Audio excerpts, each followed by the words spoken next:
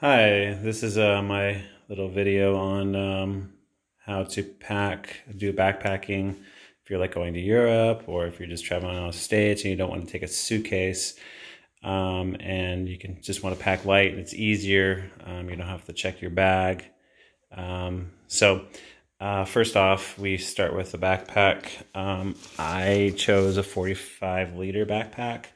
Um, people will say, you know, get you know the really nice backpacks that cost like $150 $200 $300 i say I, I don't know why you would want to do that. I have a bag that worked just fine. Um, i paid $50 for it and um, it's it's actually a walmart backpack. So um, it works for me. Um, this first um, pocket is you know good for electronics stuff like that. And it has you know kind of a, a deep you know um, main pocket, and then inside there's a little spot where you could put maybe um, a laptop or some whatever paperwork or something. there's a side access to it. Um, there's also a bottom pocket here that's below everything where you can put like toiletries or I put my medicine bag um, in there. You know, here's my toiletries. Um, another thing I have with me is um, this small backpack. It folds up in, into a little bag. It's really handy. Um, I bought that at Ross or Marshall's, one of those stores. Um, so packing like your clothes, um, I bought these um, packing cubes at Target and um, I have with me because the middle of March is still kind of cold, so I didn't really wear any shorts. Um, I'm wearing one pair of pants right now. I'm having a second pair of pants. Um, also, this packing cube. So what I do is, um, you you know, you roll up your clothes pretty tightly.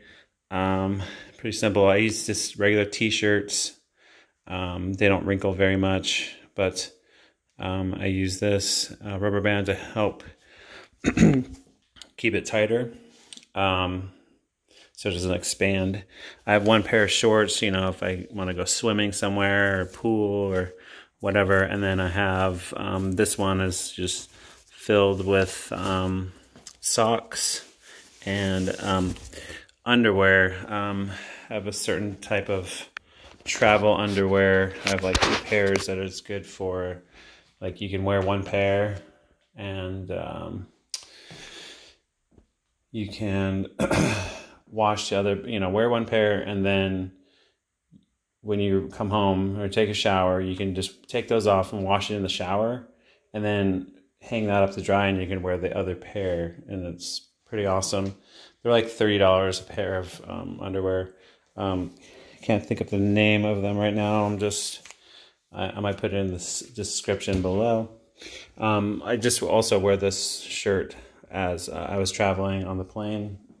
so I have an extra shirt, a buttoned up shirt, so it's, you know, a nicer shirt maybe.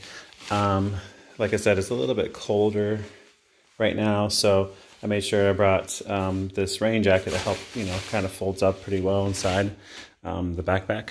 And then I have this hoodie that I wore on the plane. Um, so yeah, that's pretty much it. Um, this is working for me. It may not work for you. You may need more clothes, but I feel like this is pretty good if you're okay with wearing multiple shirts. Sometimes you rent a Airbnb that has like a washer and dryer or whatever. Um, so if you have any questions, uh, just comment below. Have a good day.